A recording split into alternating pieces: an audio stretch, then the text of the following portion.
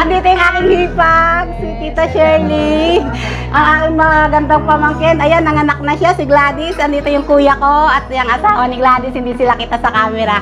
Okay. Ah, ang hinanda ko ngayon ay unexpected visitor eh. Sinigang na bangos na may papa, ah hindi pala papaya, puso ng saging. Ayan oh. Chicken feet at saka adobong chicken feet at saka pansit. Ayan po. So bago natin ito umpisahan, pray muna tayo anak. Thank you Lord sa lahat ng mga blessings sa araw na ito. Amen. Okay. Saluhan nyo kami. Pasensya at medyo magulo. Okay. kita usog ka rito, hindi ka kita. Ayan o. Ayan. O sige, sige, go, go. Wow. Wala naman yun eh. Ayan o.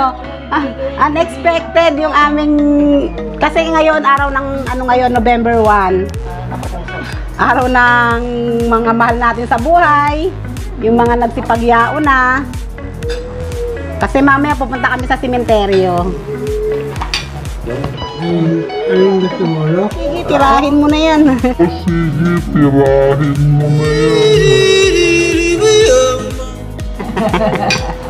nako Wow, sarap. Dahil hindi ako mag-shoutout ng request ng ulam ngayon kasi ang niluto ko talagang ano lang para sa kanila. Pero ito, request ng aking anak na si Jen. Hello, Ate Jen. Ayan, oo. Yan din, andito kami. Musta kayo dyan ha? Na kayo magkapatid ha?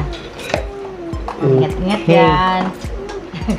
Alin? Sige, Pag gawa ang mga ulamin natin, mga mga buto-buto, Sige, paggawa ka niyan, bulalo. mechanic, yung gawa mo, yung magni-mekaniko.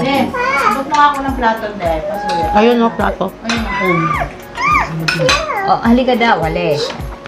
Ang basa na. Ang gulo. Niyain na. Ganyan talaga mga bata.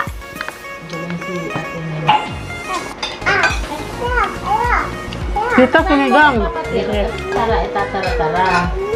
Masarap yung puso ng saging. Anong gusto mo, anak? Puti naman yung kanin mo. Kailan pa doon? Tsaka sabaw. Gusto ko pansit, ang sarap ng pansit. Teka.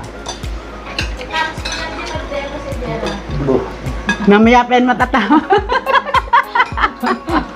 Kani, kani, kanina nga eh. Gusto na yan kumain sa daan eh. Sabi ko, hindi na pa iba. May anong gaon niyo dyan?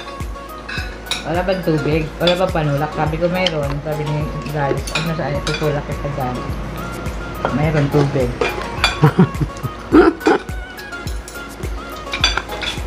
Lagyan mo man ng istabaw, anak. Dapat kayo na kung din tayo. Ano? Ang buti nga. Pasaway pa to si, ano eh, yung ate. Oo, sabi Harap pa. Eh, wala, diet na ako. Hmm? Restless na. Hindi, buhatin mo na. Baka na dyan. Buwan na ako Mm-mm. makamagod. Cut, cut, direct. Sarap. Hindi, kain pa na kain.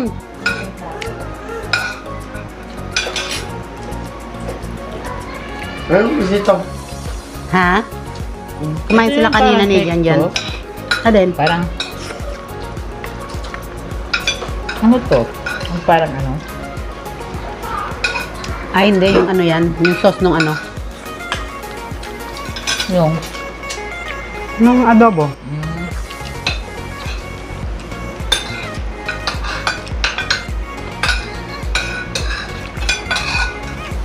hindi Kaya di po bang gulo?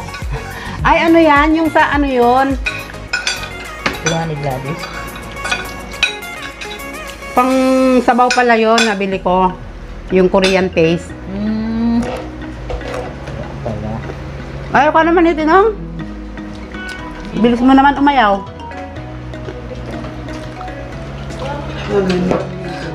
Oo, diyan sa rep. Hmm, tamad dito. Jay, kanin pa, Jay. Ayoko na. Bakit? Diet na ako. Tapos na yung rice.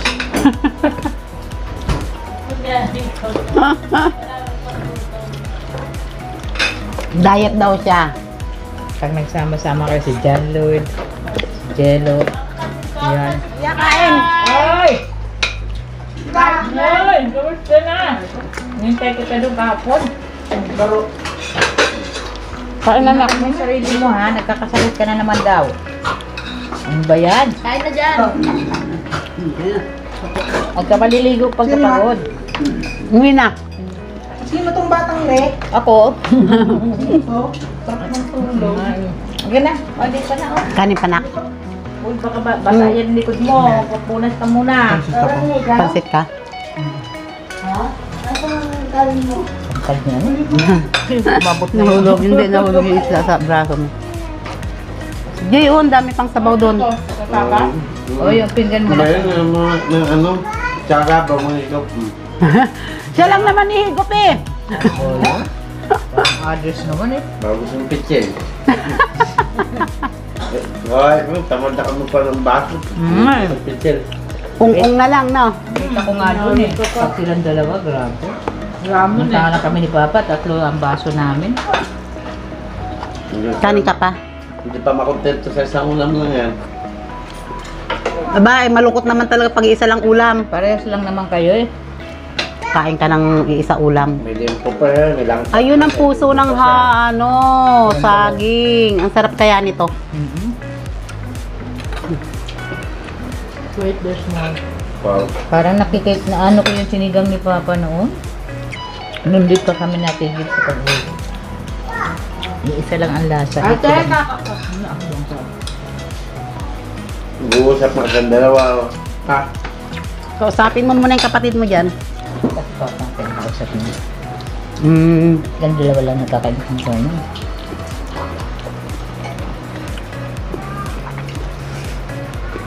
Ba't nagbago ka? Still.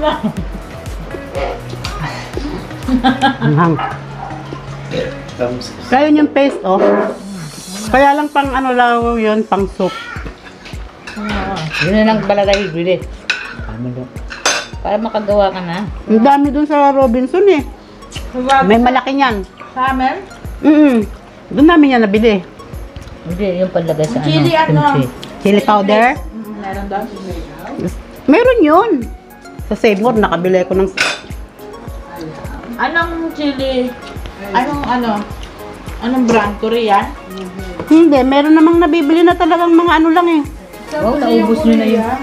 May kanin pa dun sa ano, rice cooker. Dyan. Dyan, dyan. Meron pa dun kanin. Grabe, talagang malaki ang lagyanan ng kanin. no? Tango na, bakit na. Ha?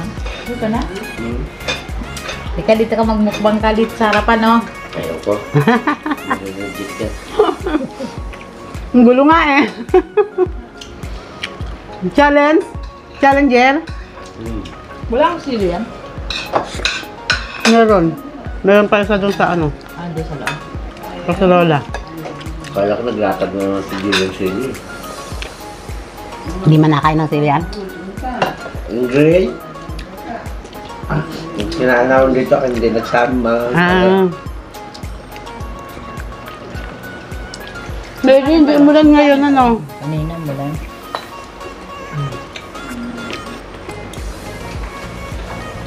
Namimiss ko to. Ang tagal ngayon ulit ako nakapag. Hindi na kasi ito binibenta sa ano. eh. Saan? Palengke. Bakit? Ang alin? Anong manok hindi na binibenta sa palengke? Ganggang pa. Tama-tama pa doon. Parang ito. Sabi ni Tinong, hindi na.